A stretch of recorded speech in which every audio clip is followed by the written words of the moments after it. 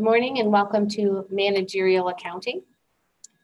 As we do every day, we'll start with a look at our calendar to talk about what's due, what's coming up. Everybody has a good sense of, of where you stand. We discussed this a couple times already before the end of the day today. Step two for the project, which is just three sources, one the company, two external sources, no particular format, Um, a link to this to the source, a sentence or two about how you're going to use that source to to complete your project. So that should be submitted by the end of the day today. We finished up chapter 20 last class and the chapter 20 problem should be submitted for grading by the end of the day today. But as there have been many, many questions about that problem, as I said before we started class, we're going to look at that problem today and work through a little bit more of it together as a class. Um, it, we also went through part of it and did an overview in the review session last Friday. So if you need more than what you've got today, um, start with that video. And if you still have questions, as always, you don't need to submit by the end of the day today. If you still are working on it and need help, you can let me know. I would be happy to help with that. And then we will be starting chapter 21 today after we finish what I want to talk about from the chapter 20 problem. So the chapter 21 pre-quiz should be submitted for grading by the end of the day as well.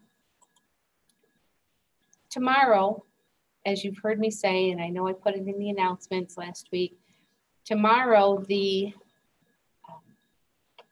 midterm grades are due, six week grades.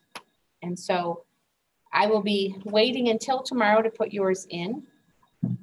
As I've explained, anything that is past due but has not been submitted for grading, so even if you've worked on it, you have to submit it for grading, and then I will bring those grades over into the Blackboard gradebook anything that's past due and does not has not been submitted for grading will be averaged in as a zero.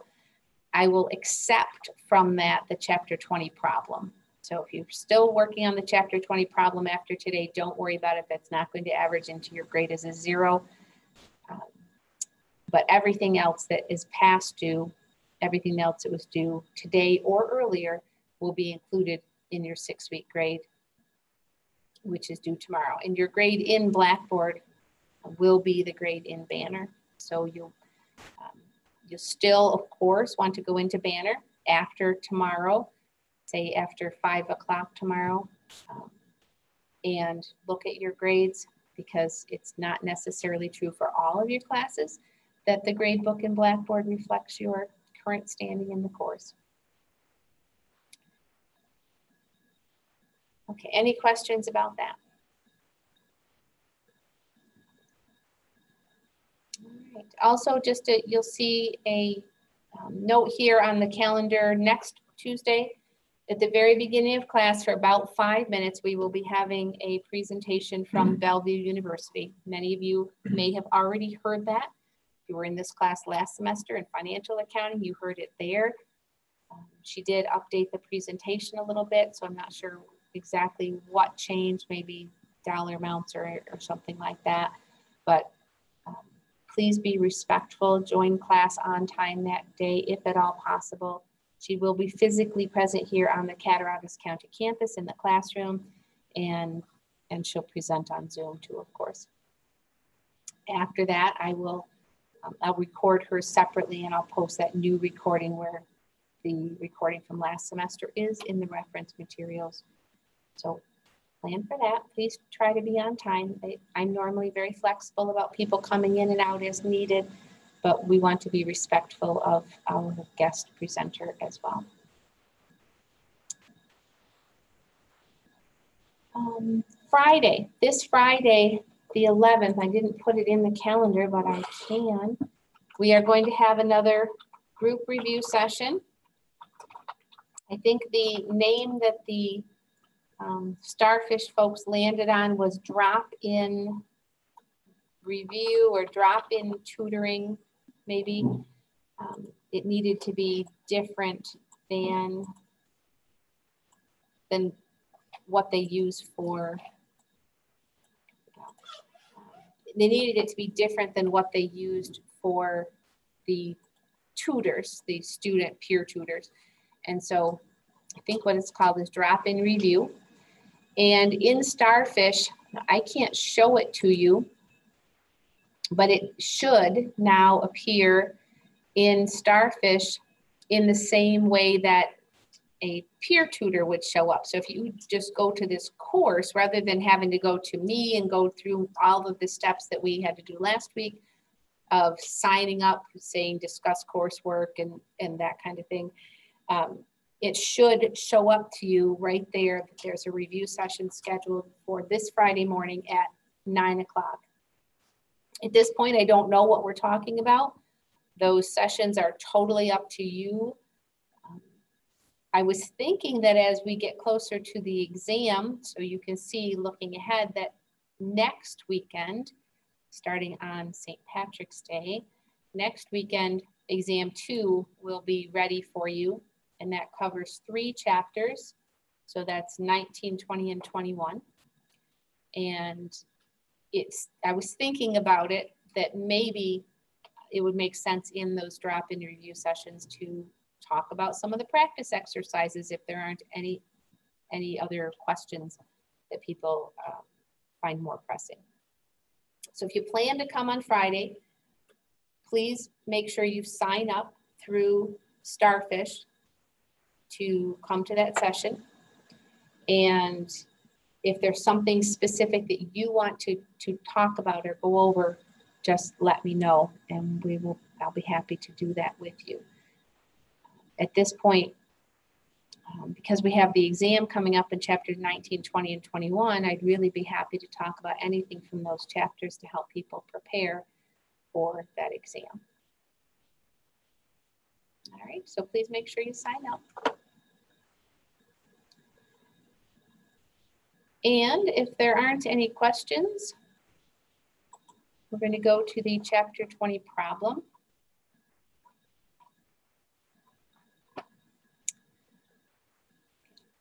No questions? Okay, so in the video from last Friday's review session, we did go through this top part on cost behavior and separating, um, using the uh, high-low method to separate fixed and variable. So I'm assuming everybody's okay with that part and that we can start here at the contribution margin section. If you do have questions in that first part, I would refer you first to the review session video from last Friday. And then again, if you're stuck and need help, feel free to ask. But I'm going to start here at the contribution margin section where we get to cover to cover compared to Bibliophiles Company. I need to point out that your the values you have in your problem maybe are different than what's on the screen. So as I go through the, the steps of doing this, you're not going to want to just use my answers. You're going to want to take the approach or the method that I go through and use the numbers, the values that are in your problem, because I do believe that they are different. Maybe they're not, but I think they are. Can anyone confirm that? Just looking at what I have on the screen here, are these the same numbers you're seeing? Looks like mine. They're the same? Okay. Sharon, are yours the same?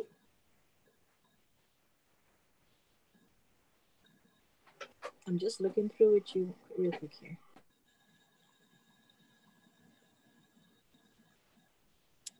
So Sharon is actually in a different section of the class. So it could be that hers are different. Keisha's in that same section. So Keisha, if Sharon's are different, yours are too probably.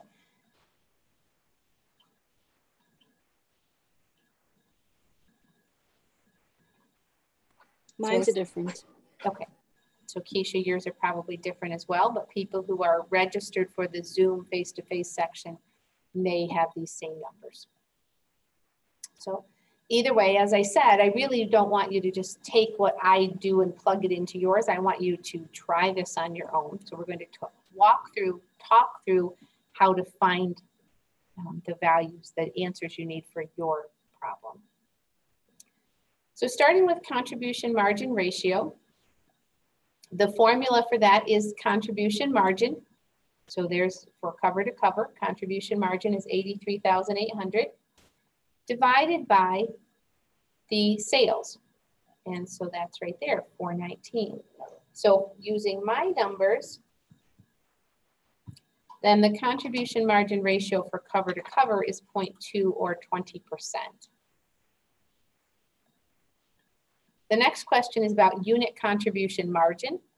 We know the total contribution margin, again, whoops, sorry, $83,800 right there at the bottom of the screen. And that's for 83,800 units. So they make the math nice and simple for us. $83,800 divided by 83,800 units gives us a contribution margin of $1 per unit.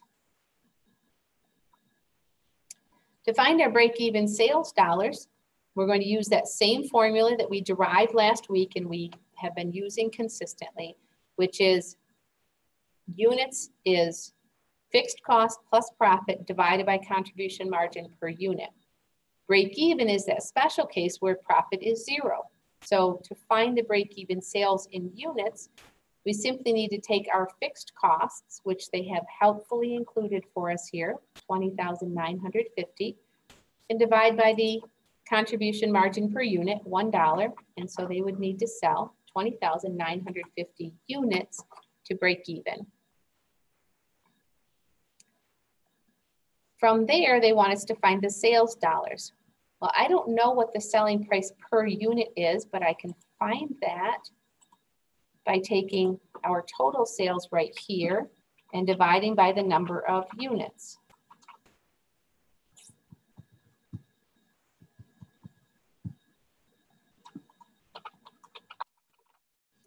And so the selling price per unit is $5. If we're going to sell 20,950 units at $5 each, our break-even sales would be $104,750. There's another way to do that though. And the other way to do it is by taking the, where is that? Um, yeah, by taking our, oops, sorry. By taking the break-even sales units that we already calculated and dividing by the contribution margin ratio. So from a formula standpoint, that makes sense. To me, that's not the easiest way to remember. So, um, but you are welcome to do it either way. Again, the formula that I just mentioned to go from break-even sales units to dollars is to take the units and divide by the contribution margin ratio. That will work. Um, to me, it's just not as intuitive as doing it um, by multiplying units by dollars per unit. So I assume with that explanation for how to do cover to cover that you would then be able to do bibliophiles on your own. Does anyone have any questions about that part?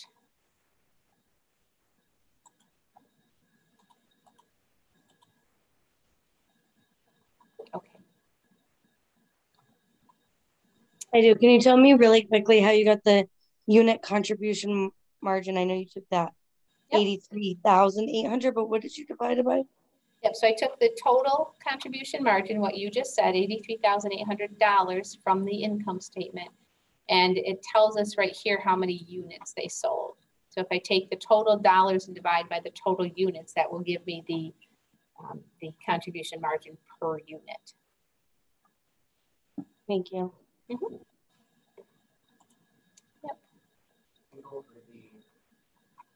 Break even sales in.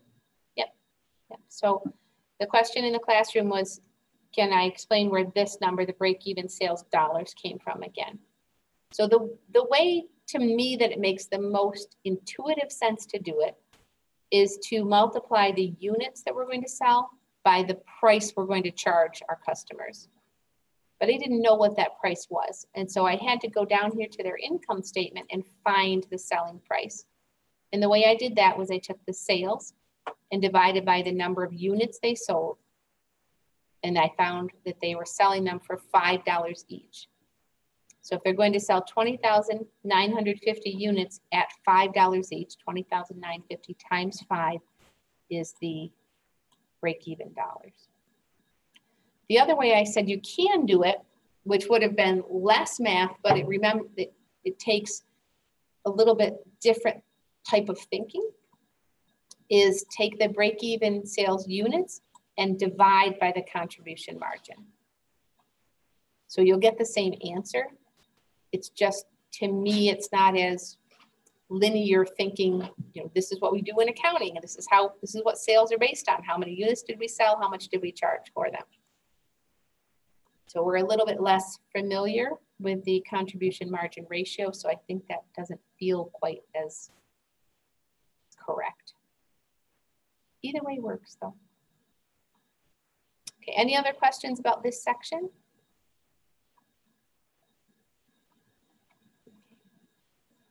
Keisha, does that answer your question from earlier? Yeah, because I was doing the um the dividing that you said. Mhm. The break even sales divided by the percent, but I didn't get the right answer every time. So I just did what you did and I got the answer. Okay. Yeah, I, I thought it was interesting. I'm not calling you out or anything, but I thought it was interesting because you had it for cover to cover, and then for some reason, yeah, something was coming apart with the bibliophile. So I'm glad that that helped. Cindy, quick question. Yep. If we do that same um, calculation for the bibliophiles, it comes, it, it's giving me a result of 126250, and I have to mul- multiply that by two to get the break even sales in dollars. Let me- let me look at those Numbers, give me just a moment. Sure. Your, your numbers are, Oh, it's different. Yep. yeah, so. Give me one second here.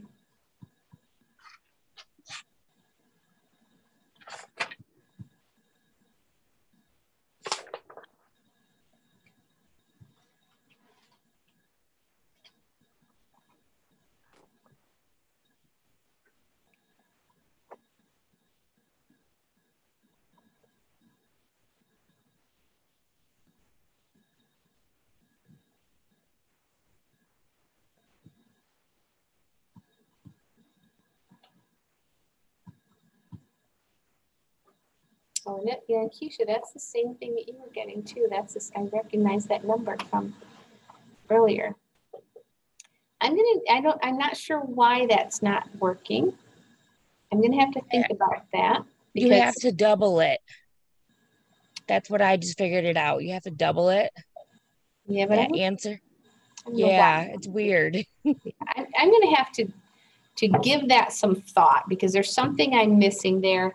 But I'm, I'm not gonna be able to come up with it just on the fly, standing here in class. So let me think about that and I will let, I will get back to you about what, what I'm missing with that calculation. So, and that's probably why I'm saying it's, it's just not intuitive for me to do it that way. So I will get back to you about that. Um, I just have to make myself a note so I remember to do that later.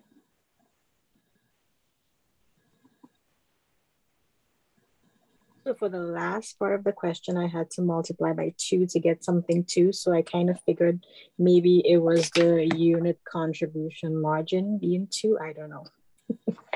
I will get back to you about that. Um, I'm gonna move on for now, but as long as you, as long as you're able to follow my preferred approach, which is taking the units and multiplying by the sales price. But I will get back to you about that other question because I don't know why that's not working.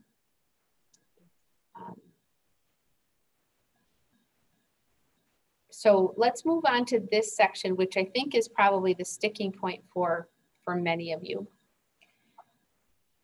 This is the sales mix question. And what makes this different than what we did in class is it already gives you the weighted average contribution margin of $2.31. And we have to, from that, calculate what the actual sales mix is.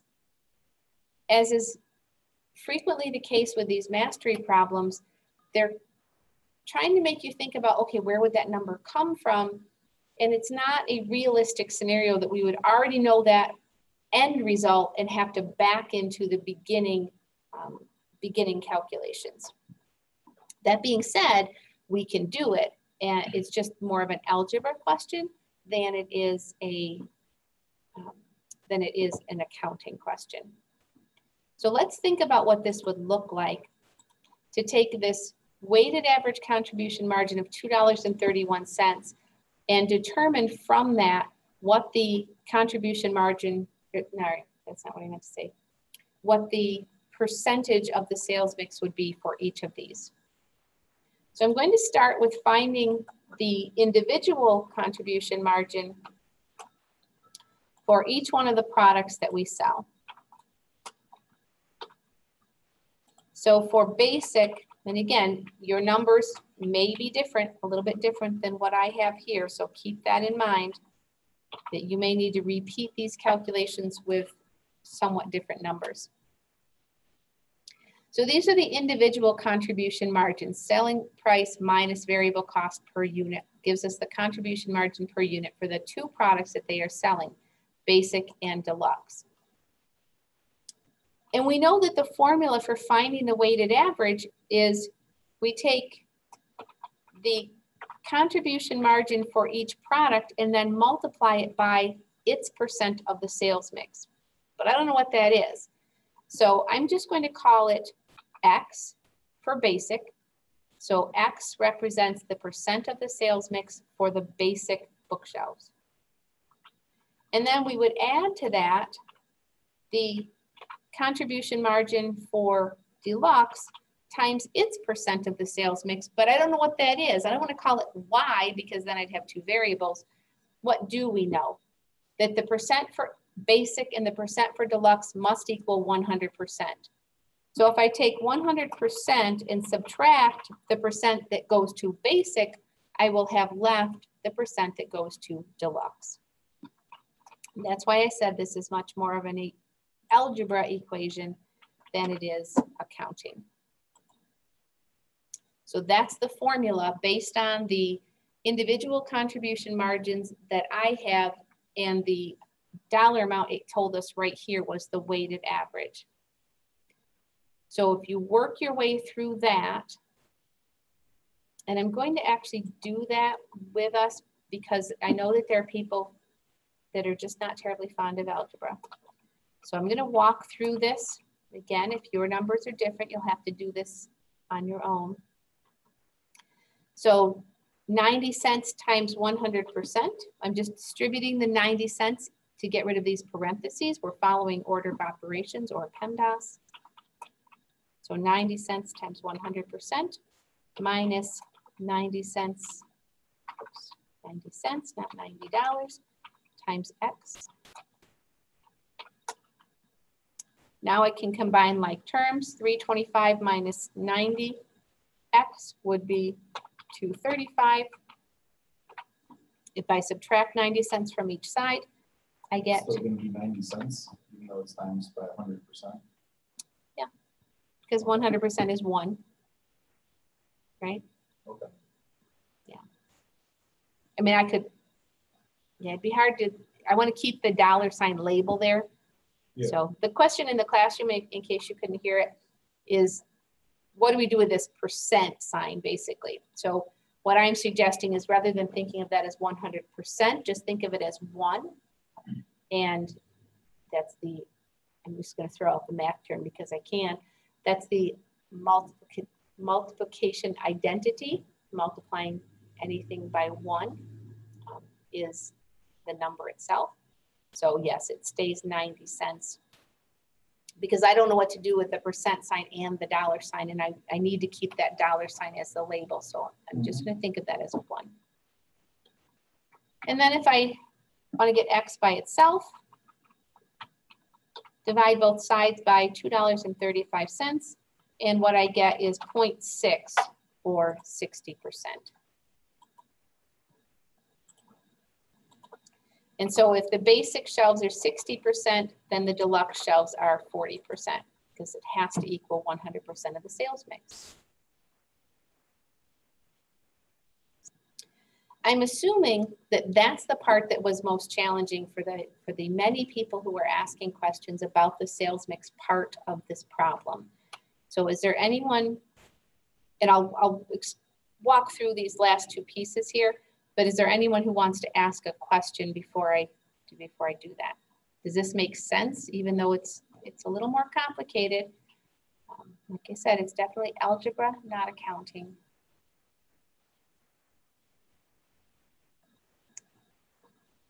So I'm going to assume everybody's okay at this point. So from there, we would use that same formula that we've been using that we derived together a week ago to find our break-even units. It is fixed, fixed cost divided by contribution margin per unit. You're going to use the weighted average contribution margin of $2.31 or whatever your problem says divide that into the fixed costs, which are given right here.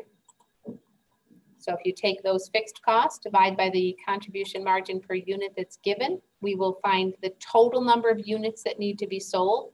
And we know that 60% of those are going to be basic and 40% will be deluxe. So you can fill in this. And then we're told right here how much those are selling for. $5 for the basic and $9 for the deluxe. So you can then um, multiply the break-even units by those dollars to get um, the break-even sales in dollars.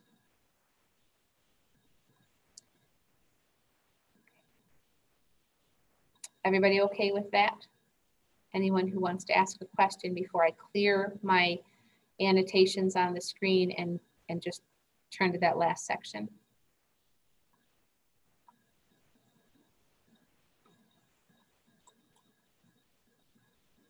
Okay. So the last section is target profit. So what if they want to increase their profit?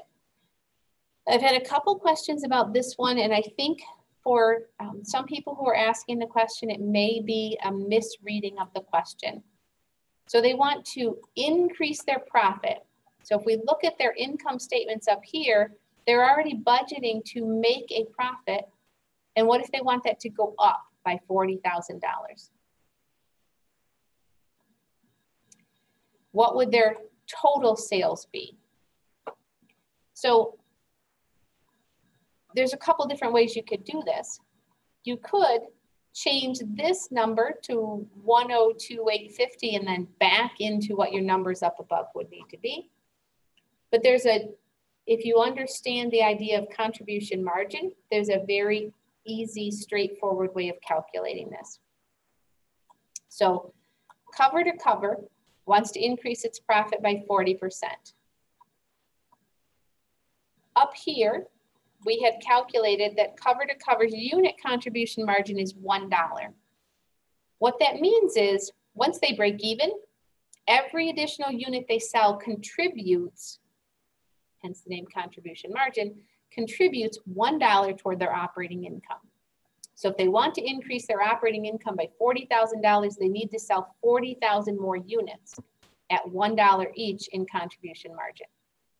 Sell 40,000 more units.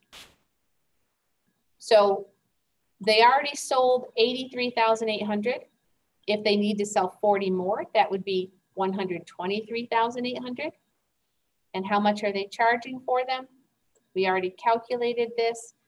They were charging $5 per unit.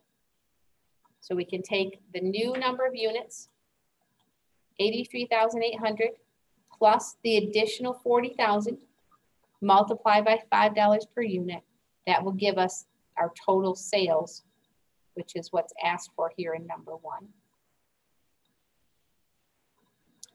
And with the numbers I have in my exercise, or excuse me, my problem, Bibliophile's contribution margin, I believe, is $2 per unit. I don't have that calculated here on the screen, but I, I believe that's what I had seen working through this earlier.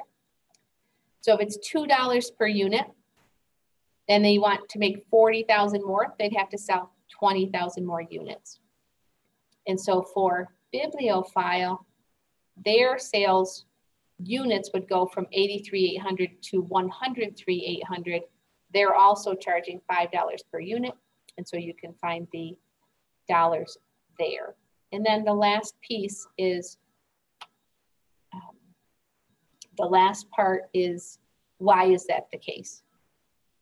Their numbers look basically the same at this point.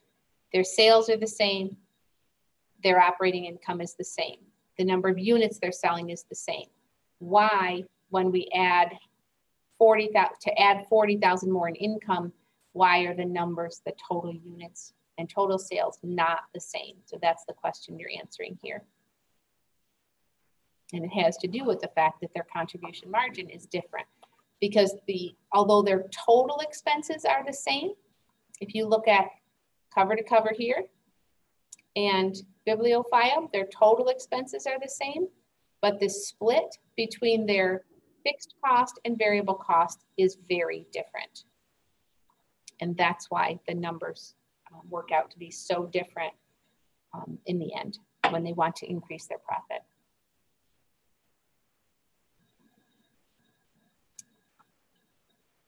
Okay, any questions any more questions? Anything else you want to talk about related to this chapter 20 problem?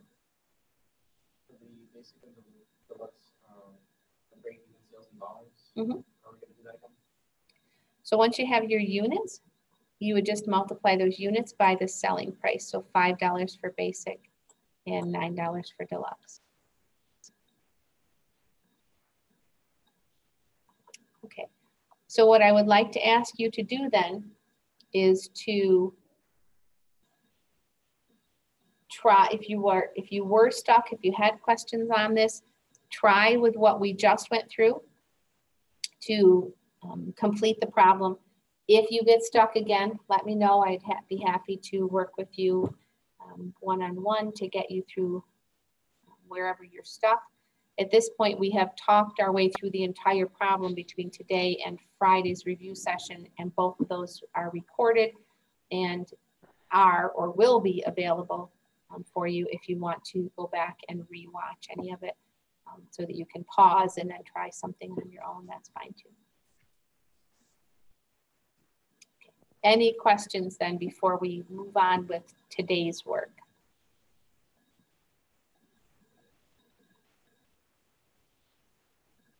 Okay, I hope that helped.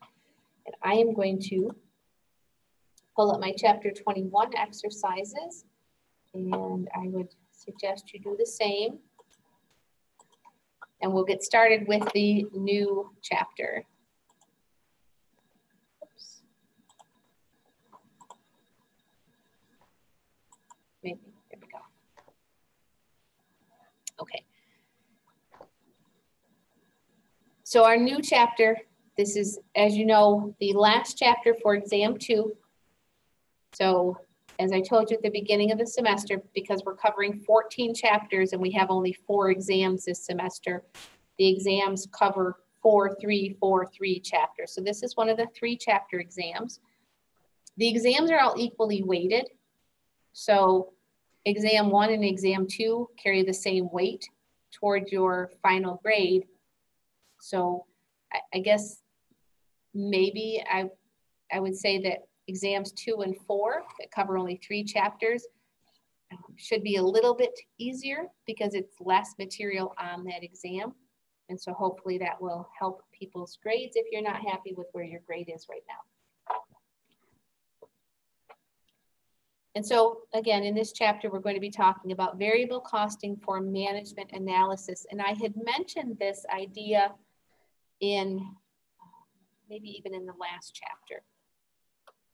So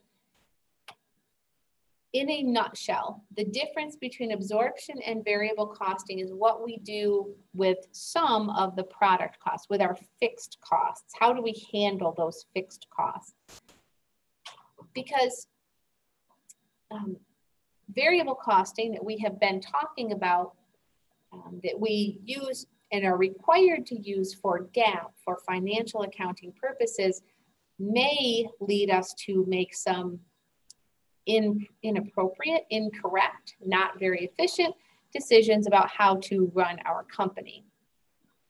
And so in this chapter, we're going to be looking at an alternative for internal decision making, which is what we're talking about this semester, management or managerial decision making. How best to make decisions about our product, about the costs that are associated with making and, and selling our product. Um, and I may have just said that backward. I think I may have just said absorption co variable costing, and I apologize. Um, I must have looked at the wrong word on my screen. So, and then just said what I was looking at. Absorption costing is what's required for GAAP. Variable costing is what we are learning in new in this chapter. And I, am not sure I said it backward, but if I did, I'm, I scratched what I said. Absorption costing is what we have learned in earlier chapters. Absorption costing assigns the direct costs to the units that are produced in the period that those costs are incurred. Variable costing says, yeah, but are we really rewarding um, the wrong type of behavior in our company if we allow those fixed costs to rest on the balance sheet, excuse me, as part of our inventory until we actually sell it. And so the concept of variable costing says the only costs that go on the balance sheet as inventory are the variable costs that go with those units. And fixed costs are going to be expensed in the month, in the period that they are incurred. What that does is reward, um, but what it does not do is reward producing for inventory because when we produce for inventory rather than produce for a sale, it allows us to maybe hide some of those fixed costs. I'm not I'm not really suggesting that there is a, an ethical issue. I'm not really suggesting someone's attempting to defraud the public because that would certainly raise the question, well, then why do we use absorption costing for financial reporting if we don't want to use it for internal decision making if it somehow skews our picture. Excuse me.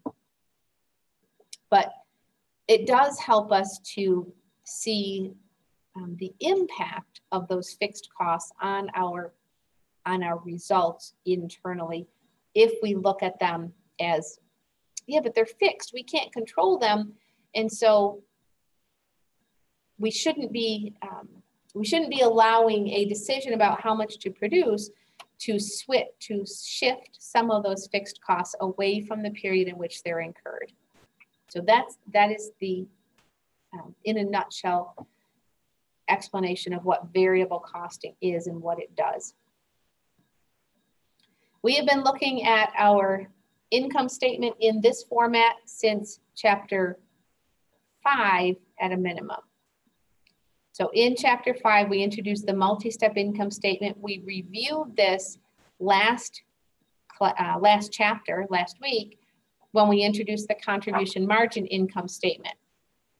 So this is the, uh, the traditional way, the financial accounting required, GAAP required way of reporting our income. Here's our revenues from sales.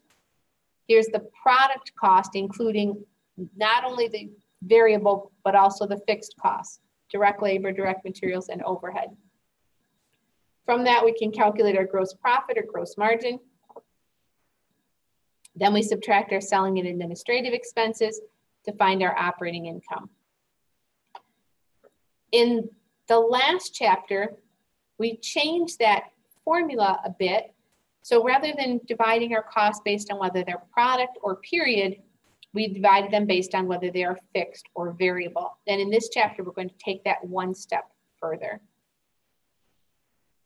So in, in this chapter, we're going to be looking at our fixed manufacturing costs, the fixed overhead or the fixed product costs separate, separately from our fixed selling and general and administrative expenses, those fixed period expenses. So under variable costing, those fixed overhead costs, manufacturing overhead, are going to be treated as a period expense rather than as part of the product.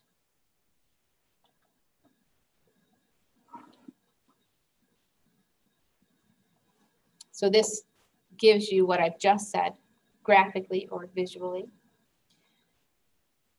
In chapter 15, when we started this semester back in January, we learned that the cost of goods manufactured for a product includes direct materials, direct labor, and both fixed and variable overhead. Now um, we are separating that fixed factory overhead and instead of treating it as part of the cost of the product, we're going to treat it as a period expense. And the rationale is those costs are fixed. We know in advance what they are. We should not be hiding them or masking them by allowing some of that expense to reside on our balance sheet as inventory. And so they are expensed not for financial stating, statement purposes, but for our internal decision making. They are treated or seen as an expense in the period in which they're incurred. And so you can see that this looks very similar to what we did in the last chapter with contribution margin, but we've added one additional step. So we've now divided our variable costs into the product costs, direct materials, direct labor, variable overhead, to find a manufacturing margin. So we've added that extra step. Then we subtract our variable period expenses, selling, general, and administrative, to get the contribution margin. That is exactly what we did in chapter 20. Then we look at our fixed manufacturing, those are the product costs, and selling and administrative, those are the fixed period expenses to find our operating income. So you may want to make a note of the the format here, sales minus variable cost of goods sold gives us our manufacturing margin. Okay, so that is a new equation for us. And then we subtract the variable period expenses to get our full contribution margin.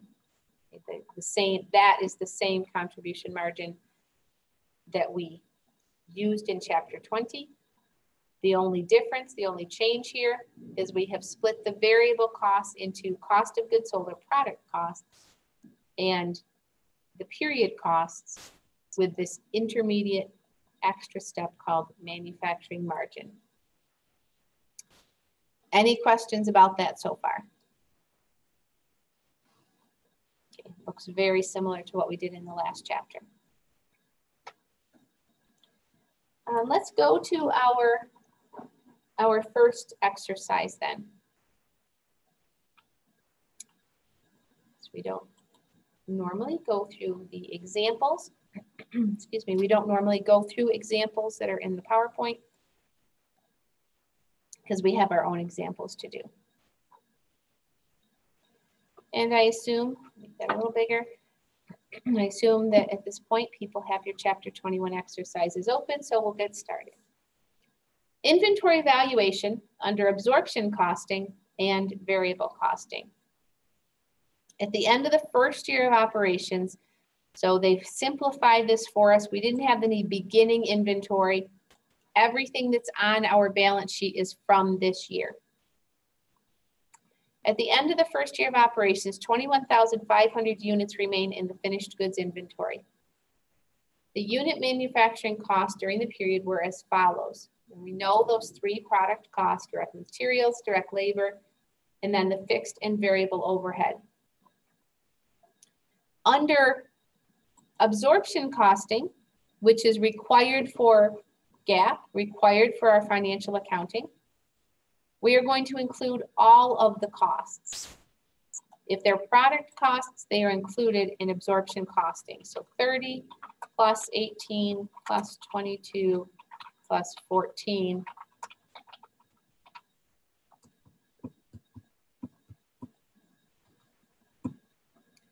for a cost of $84 per unit.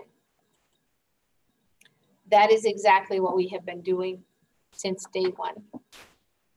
What is new in this chapter is the concept of variable costing, where we're including only the variable costs.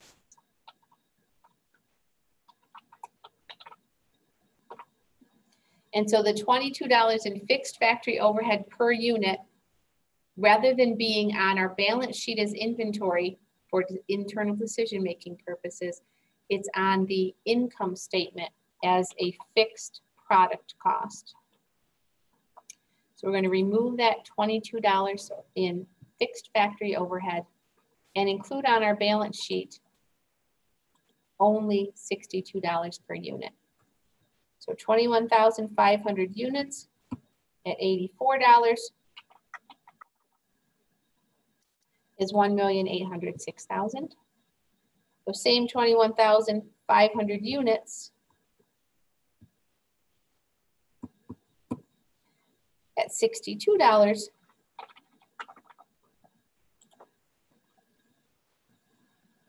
under variable costing $1,333,000.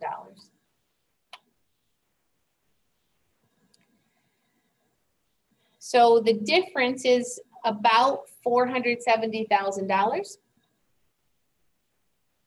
And the change means that rather than putting it on the balance sheet, we put it on the income statement.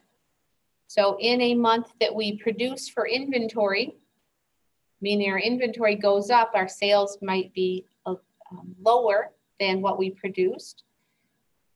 We are going to have a hit to the income statement. We're going to still be showing those expenses for the fixed factory overhead, even though we haven't sold those units yet, even though we haven't sold some of those units. And so it can lead, as we'll see as we go through this chapter today and then on Thursday, um, it can lead us to very different decisions about the most efficient way, the most cost effective way to run our company. Green check marks in there.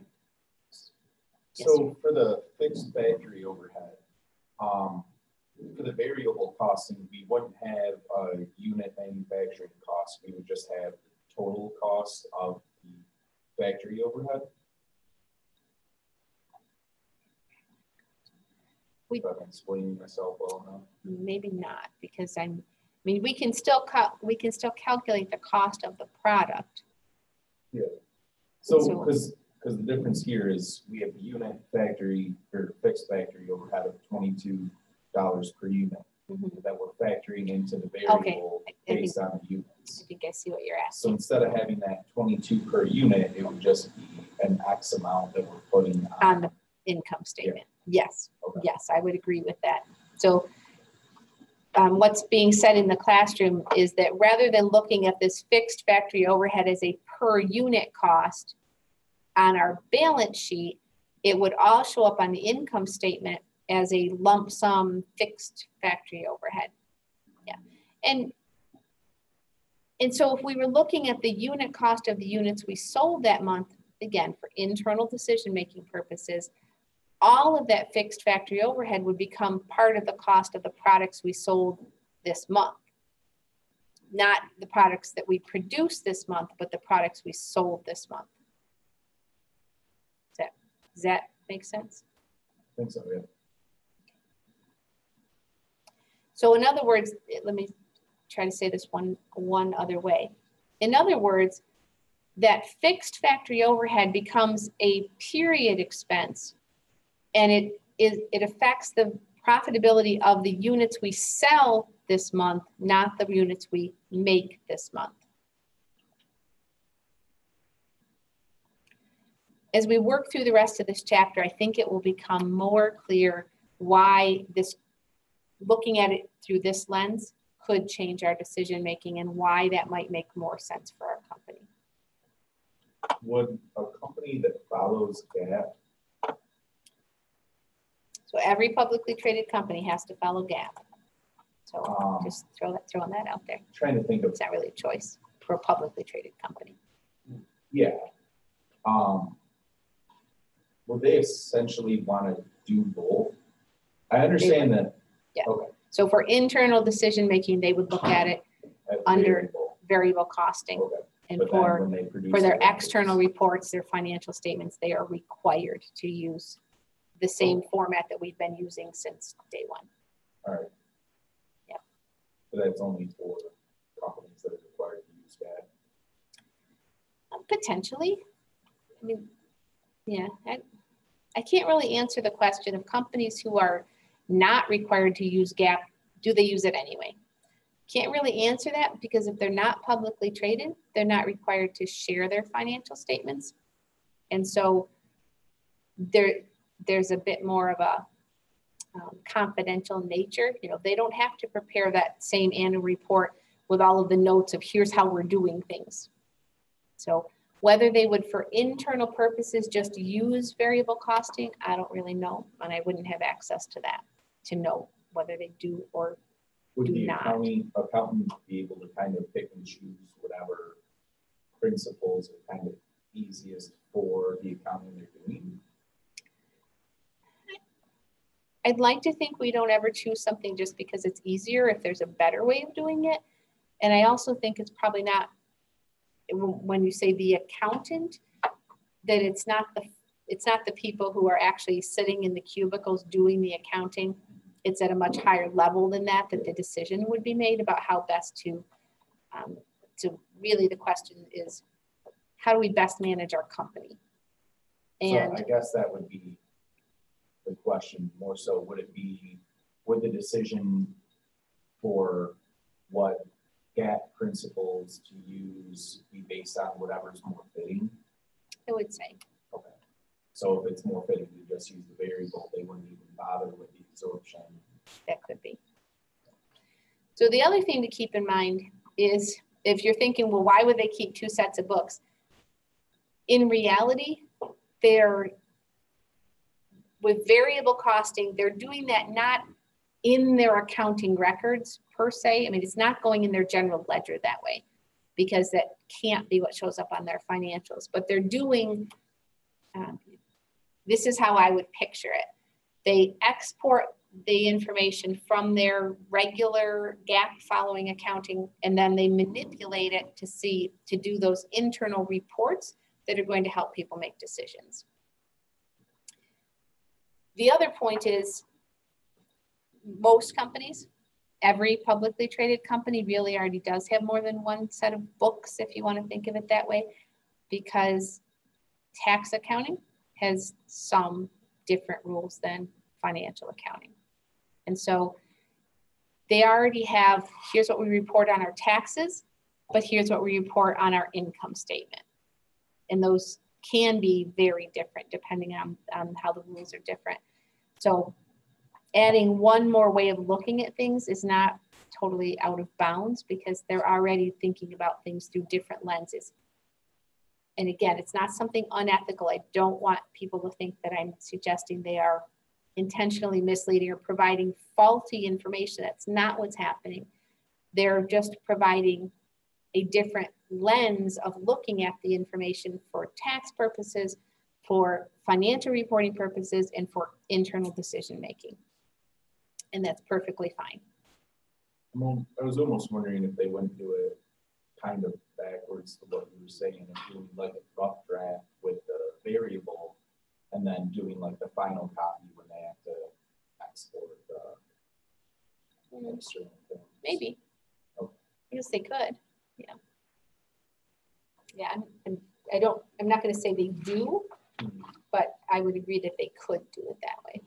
But I mean, instead of thinking of it as like multiple books, it kind of, as long as it works, it helps me think of that that way of we aren't trying to keep separate accounts, but we have a rough draft and then we have a final draft. Yeah. Yeah, Yeah, I, I think that would be okay. So any other questions about this? So you can see immediately the impact of um, what appears on their balance sheet for financial reporting purposes. Absorption costing, the GAAP required way, makes the company look more successful when they're producing for inventory.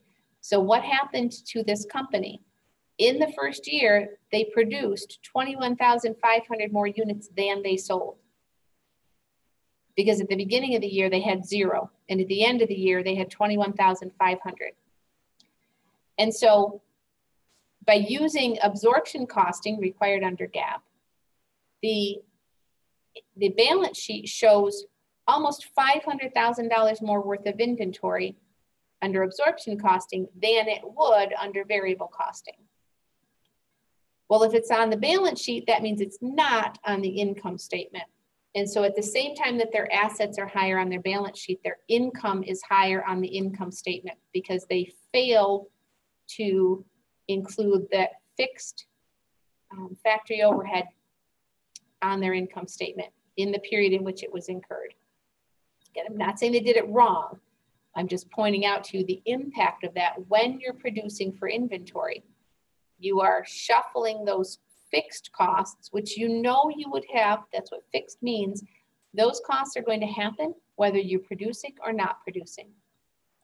And so the, the assumption under variable costing is, yeah, but if you're going to have those costs anyway, they should just go on your income statement you shouldn't be able to shuffle them to the balance sheet and claim them as an asset inventory when you really didn't um, increase the value of the company by that, by that amount.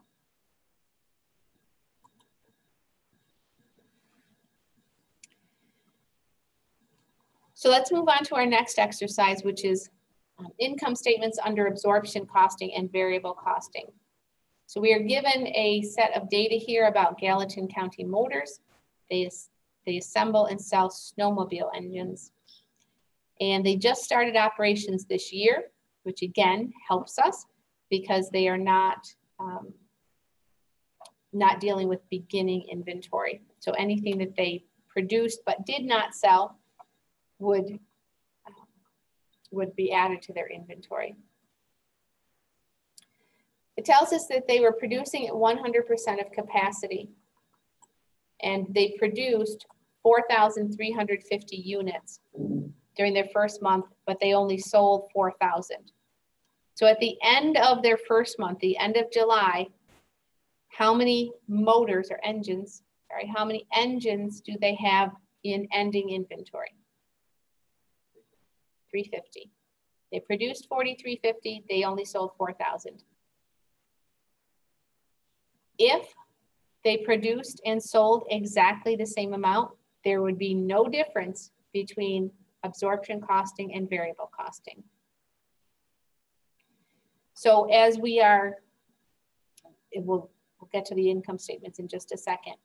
As we are looking at the income statements, you will see, based on what we just discussed, you will see that because they produced for inventory, their income under absorption costing is higher than it will be under variable costing, where we have to expense the whole fixed manufacturing or fixed factory overhead.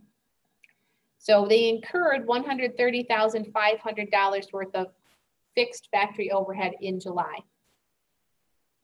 Under absorption costing, part of that goes on the income statement for the 4,000 engines we sold, and part of it goes on the balance sheet as inventory for the 350 engines we did not sell. Did I just say absorption again? I'm, I need to put a cue card in front of my face. If I just said absorption, you know that feeling like, wait a minute, what did I, did I, that didn't, something's niggling in my brain, like that didn't come out right. Variable costing, um, under absorption costing, part of the fixed factory overhead is on the balance sheet and part is on the income statement. Under variable costing, all of it goes on the income statement. So our income will be lower under variable costing.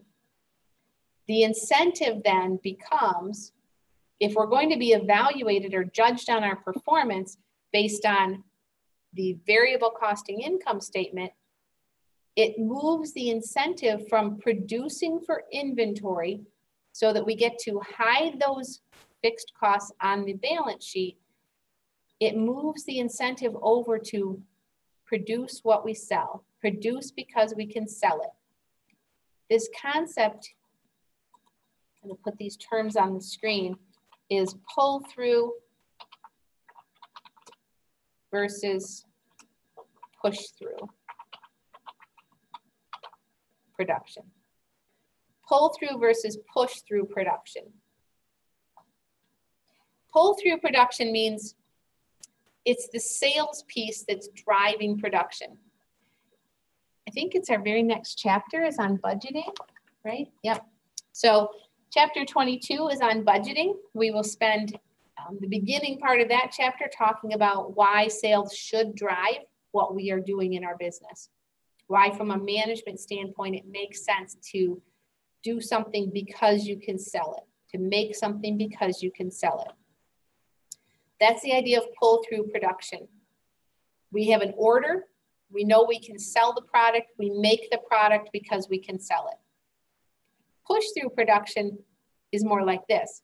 Well, we have some machines and we aren't using those machines, so let's use those machines to produce. Eh, we don't have to worry about whether we're selling it or not. Let's just produce it. Pull through production is a worthwhile goal for any business.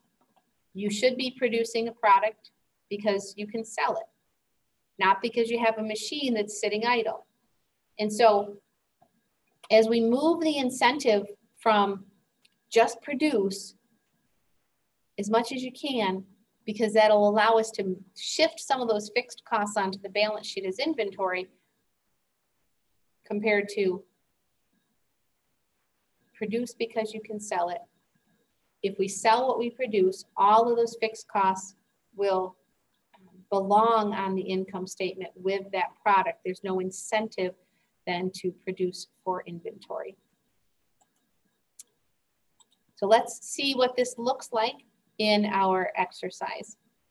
The first thing we're asked to do is the absorption costing income statement, which is the exact thing that we have been doing since chapter five when we introduced the, the multi-step income statement. So the format sales minus cost of goods sold gives us gross profit or gross margin minus our selling and administrative expenses to get our operating income or loss. I don't know yet which one it is. I'm going to go with operating income for now.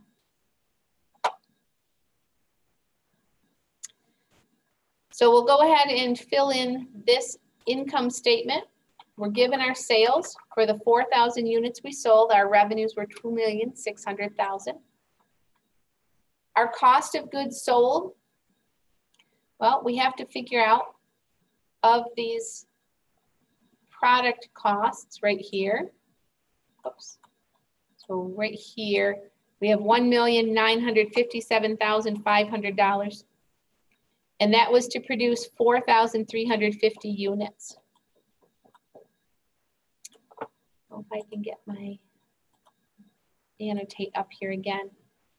One million nine hundred fifty-seven thousand five hundred dollars for four thousand three hundred fifty units is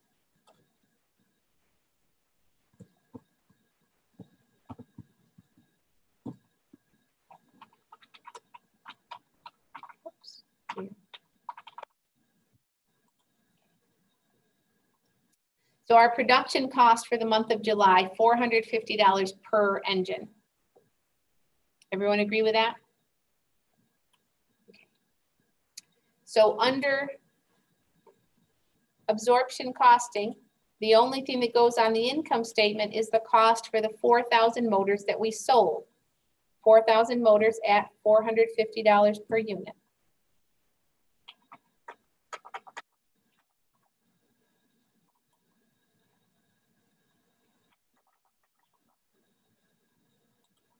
subtract our selling and administrative expenses to get our operating income.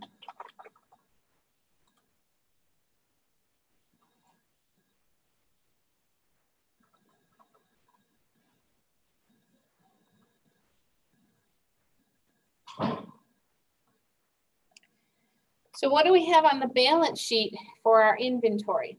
Again, I don't, I don't think it's asked in this question. Let me just look. So it's not asked in this question, but I'm just gonna put a note here on the screen. So for our inventory, under absorption costing,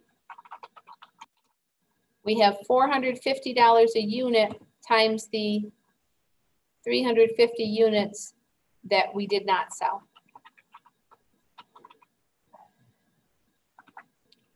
And I'll put another line here and we'll get to this in a moment. So under variable costing,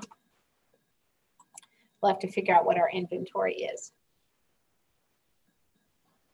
Everyone okay with what we just did for absorption costing? Nothing new there. That's exactly what we've been doing. So what is going to change under variable costing? Let's get our format in here first. This is the format I told you you might want to take a note. We always start with sales. We always end in operating income or loss.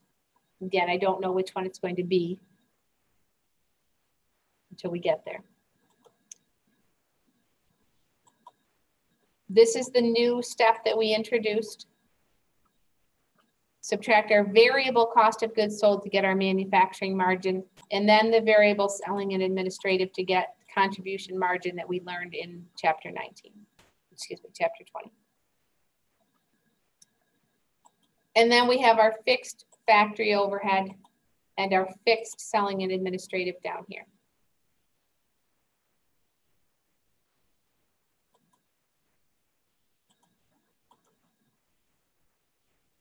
And so what's going to look different? Our sales are going to be the same.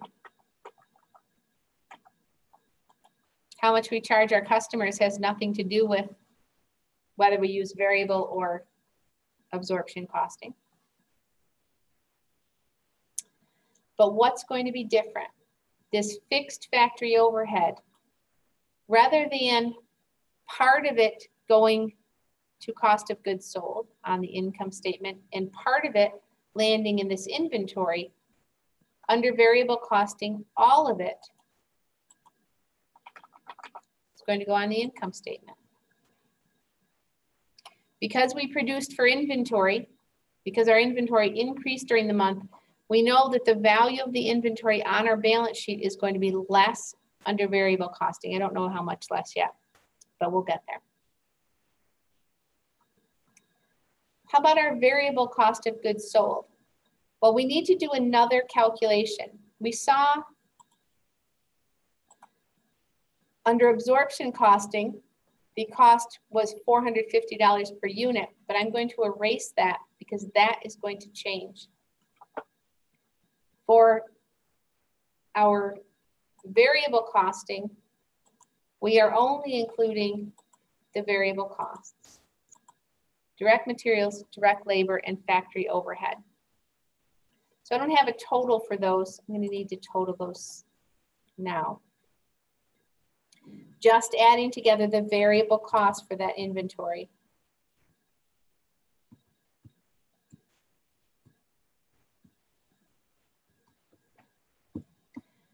And I found variable costs of 1 million eight hundred twenty-seven thousand dollars. And so the variable cost per unit, if we divide by the total number of units we made, is only $420 per unit. So under absorption costing, we had calculated the total cost of those units as $450 per unit. But we now know that $30 of that cost was for the fixed costs that we are moving directly to the income statement.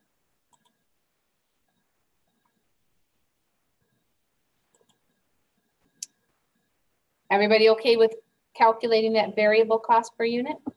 Simply took out the fixed cost and then calculated our per unit cost. So our variable cost of goods sold is the $420 times the 4,000 units we sold. Subtract that to get our operating margin. Excuse me, our manufacturing margin.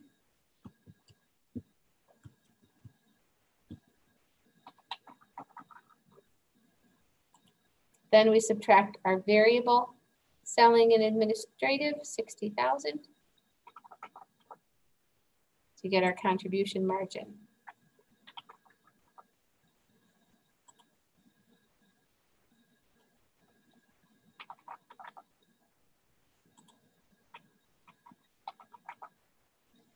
Then we subtract our fixed costs.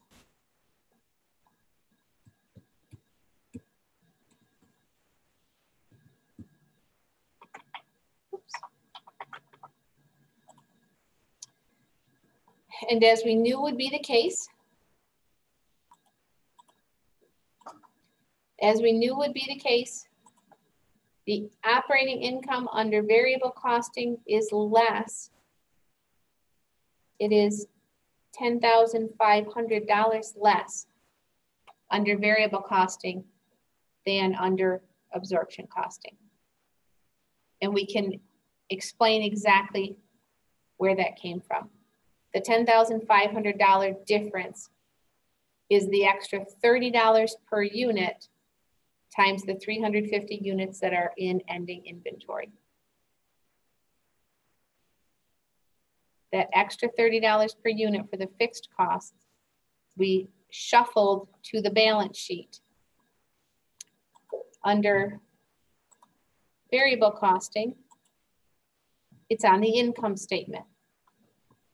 And so the inventory would be hot, would be um, lower under variable costing because we said that fixed cost, all of that expense was incurred this month. Oops. So it's, what did I say? Ten thousand five hundred dollars less.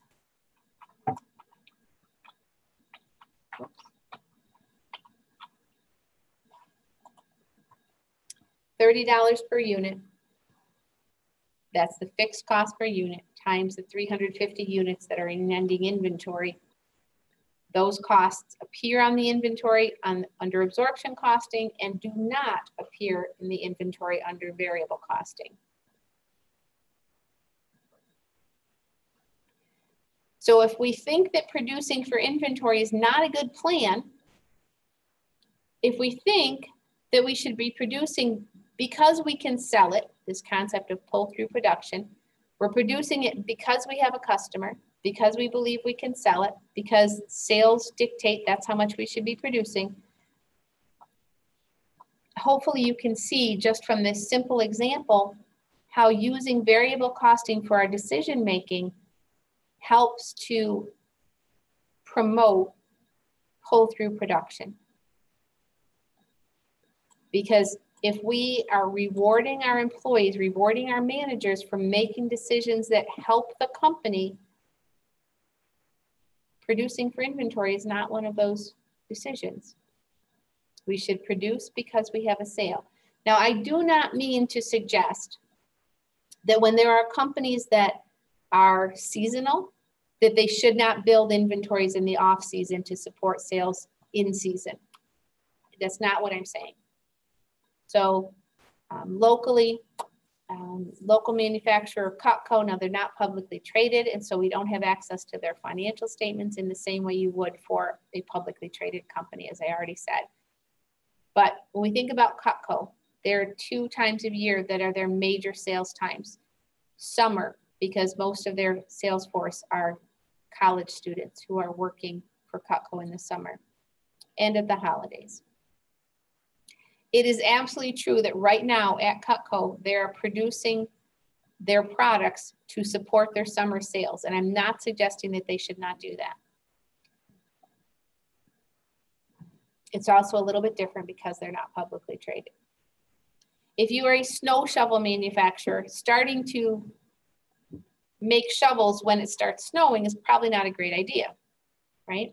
You're going to be producing for inventory in the slow times so that you can meet demand in the, in the busier times. What I am saying though is in general, putting aside those concerns about seasonal um, fluctuations in, in, sal- in sales, producing for inventory when you don't think you can sell that product is not a good plan. That's the concept of push through production. And using, using variable costing helps to avoid that because you're incentivizing selling the product, not producing the product. Let's answer part C. What is the reason for the difference in the amount of operating income reported in A and in B? So under which method is the fixed manufacturing cost included in cost of goods sold matched with the revenues? Under which method is all of the manufacturing, all of the fixed manufacturing cost deducted in the period in which it is incurred? That is our new approach, variable costing. Thus, when inventory increases, which, which income statement will have a higher operating income absorption costing? Because we push those fixed costs onto the income statement rather than expensing them in the period in which they're incurred.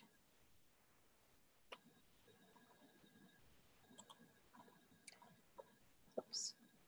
Okay. Any questions? We've now looked at the difference and you can see that in a period in which inventory is increasing. We're rewarding um, that behavior when we use absorption costing. Again, we are required to use absorption costing for GAAP, but we are not required to use it for internal decision-making purposes. And so looking at variable costing helps us to recognize when that is happening and not to reward that behavior.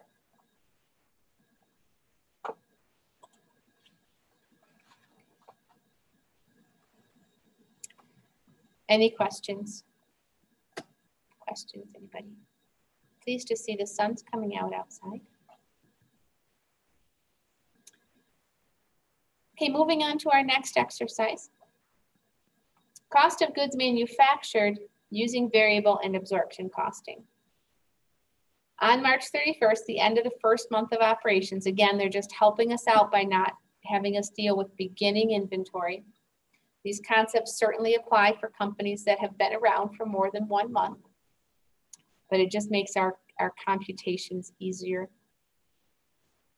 During that first month, Barnard Incorporated manufactured 15,000 units and sold 12,000 units. So we already know when we look at absorption costing that the income is going to be higher because we produced for inventory. What we have here is actually kind of the reverse of what we just did.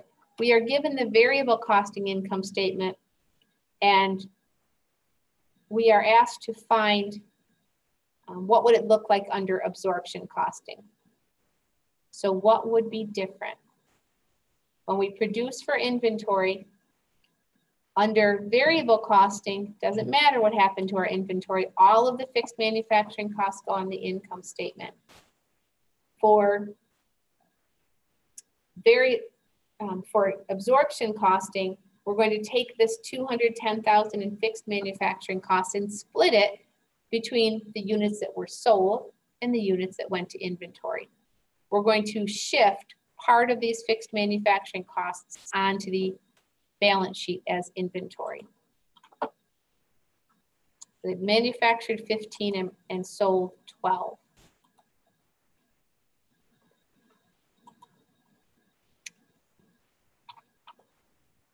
If we were dividing those fixed manufacturing costs across all of the units that were produced,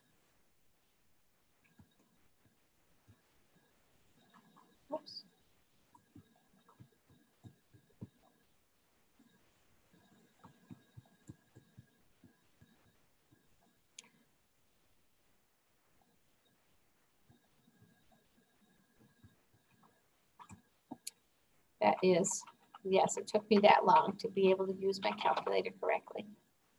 That is $14 per unit. in fixed manufacturing costs. Everyone okay with that? Okay. So under variable costing, all of that went on the income statement.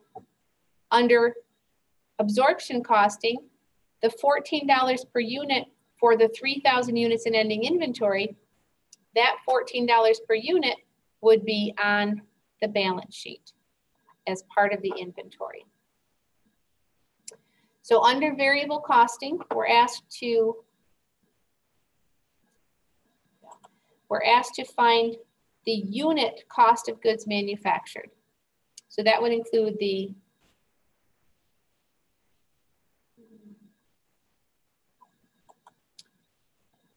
oh, goods manufactured, sorry, let me. So there's our variable cost of goods manufactured. And here's our fixed manufacturing costs.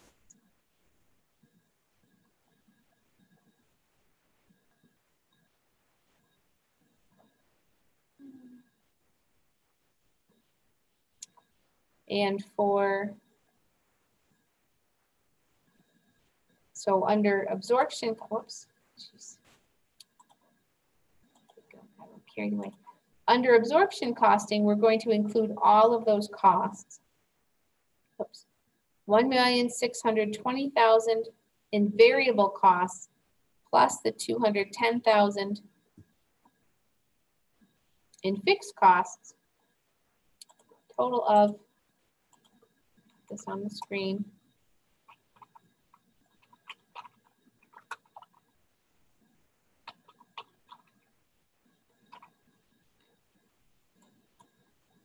So there's our total manufacturing cost, including fixed and variable.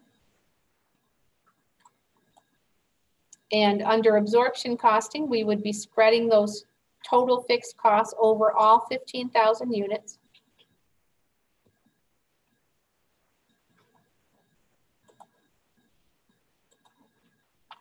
Oops.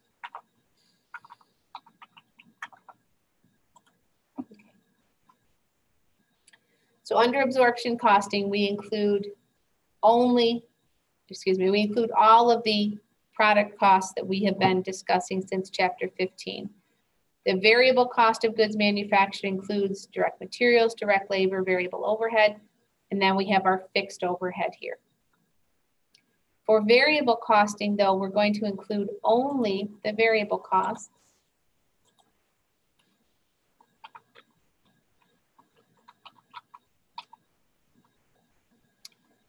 And that was for 15,000 units. So we include only the variable costs.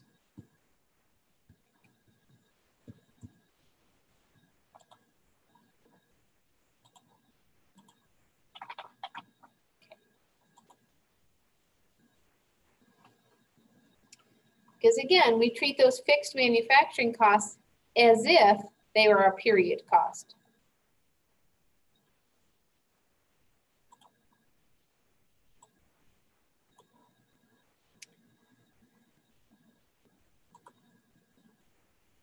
Then we could have just taken the variable costing per unit and then added the extra fourteen per unit to the fixed. We could have, yes, yep.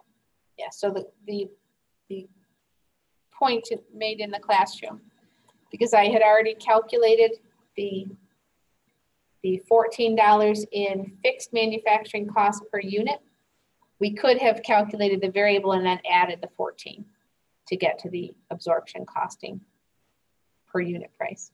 Absolutely. Yes, that is the difference.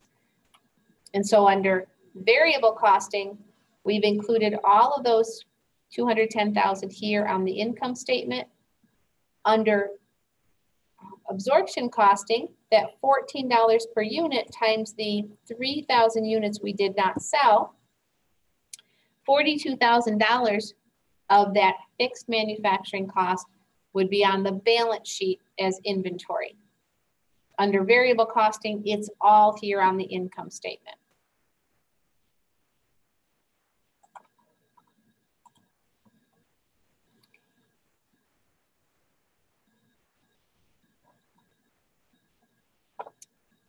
Get any idea?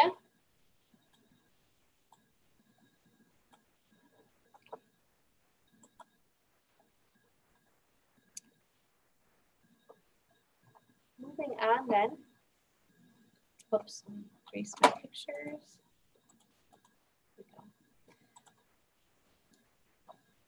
So we now have an absorption costing income statement.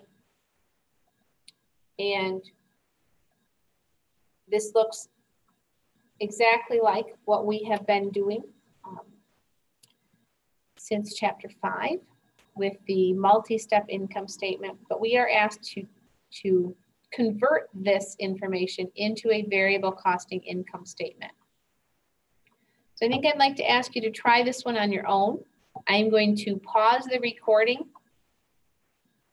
And you'll notice in this example, we have the same situation. First month of operations, they produced more units than what they sold. And so they ended up with 25,000 units in ending inventory. We are given the fixed manufacturing costs. So of these total manufacturing costs here, we're told that 450,000 of that is fixed. Of the total selling and administrative expenses, 165,000 were fixed. Now in both cases, those uh, selling and administrative expenses belong fully on the income statement. But in order to use the variable costing format, we need to be able to separate the variable from the fixed um, period expenses. So I'm gonna pause the recording and ask you to work on this variable costing income statement on your own.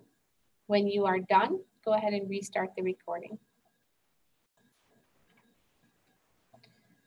So here is what I came up with.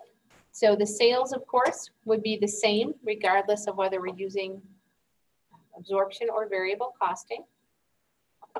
The variable cost of goods manufactured is the total that was given up above minus the part we're told is fixed. And so this fixed part is coming down here to the fixed manufacturing.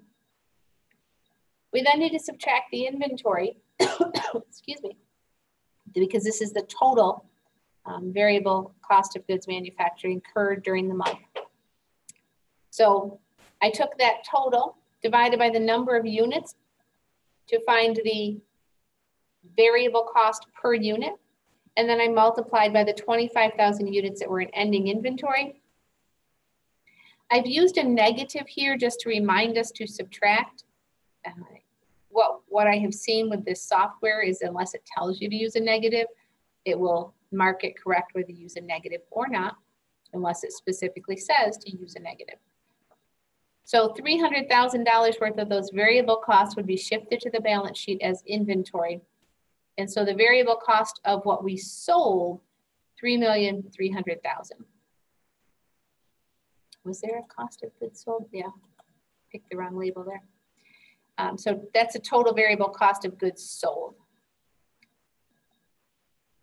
If we subtract that, and we could put a negative there, again, if it helps you to remember to subtract, we could we subtract that from our sales to get the manufacturing margin. Then we subtract our variable selling expense. Well, we had the total given as 275 and we're, we're told that 165 of that is fixed. So the rest of it, 110,000 must be variable. Subtract that to get our contribution margin. Then we have our fixed manufacturing from here, given here.